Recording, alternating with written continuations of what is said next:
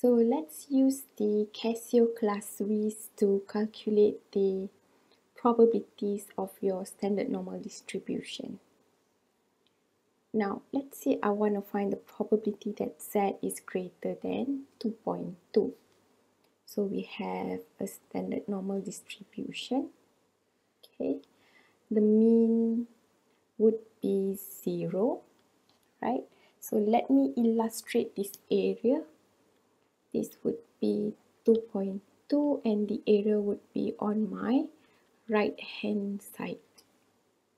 Okay, now um, using this calculator, I would go to menu and select 6 for statistics and then I would press AC okay and then I would go to option. And I would scroll down over to number 4 so we have the normal distribution at number 4 and I'm selecting 4 and over here we have the P, Q and R function. So when you want to find the probabilities on your right hand side we would use the r function okay? So r of 2.2 I select 3 2.2 gives me the probability 0 0.013903 okay what if I have this question? Find the probability that z is less than 2.2 now when I illustrate the area okay the mean is 0 2.2 would be on my right hand side. The area would be on my left hand side okay?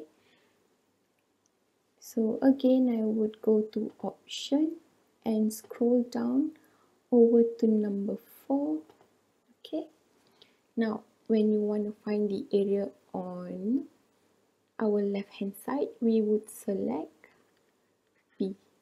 Okay, so P, this is equals to P of 2.2. So I select 1, P of 2.2 would give me 0 0.9861.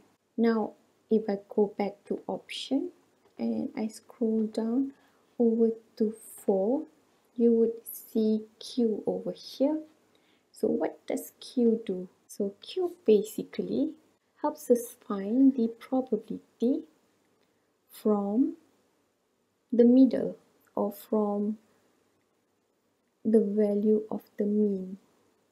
For example, I want to find the probability of z between 0 and 2.2 okay?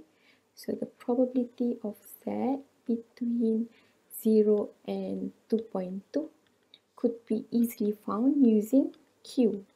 So q of 2.2 would give us of 2.2 is equals to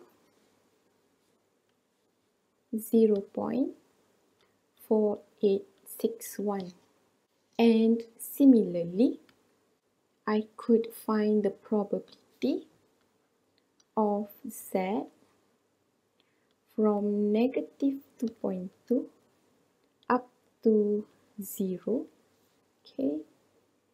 So the area on my left starting from minus 2.2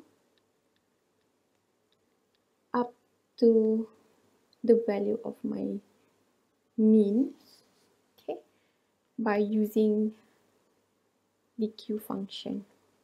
So I would insert q of minus 2.2 and this would definitely give me the same probability as the one that we obtained just now so let's check option